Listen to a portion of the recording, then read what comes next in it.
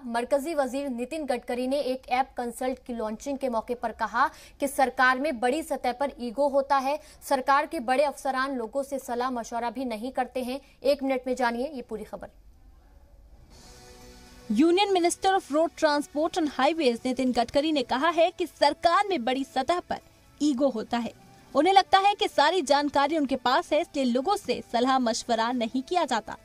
नितिन गडकरी ने ये बातें निजी सलाह ऐप कल्ट की लॉन्चिंग के मौके पर कही। हर आदमी को कुछ ना कुछ समझता है पर उससे कंसल्ट करना उससे सलाह लेना और उसने बताए हुए सलाह पर सलाह पर गंभीरता से विचार करना और सही होगा तो एक्सेप्ट करना। ये भी बहुत इम्पोर्टेंट नितिन गडकरी ने ये भी कहा कि सरकारी प्रोजेक्ट्स में देरी होने के पीछे वजह यही है कि वक्त पर फैसले नहीं किए जाते। निर्णय समय पर नहीं लेना। और दूसरी बात है कि निर्णय नहीं लेना। तो वो दो प्रॉब्लम के कारण सरकार तकलीफ़ में आती है।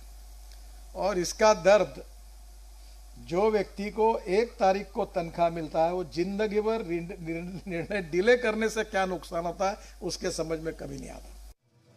Bureau report, Zee media.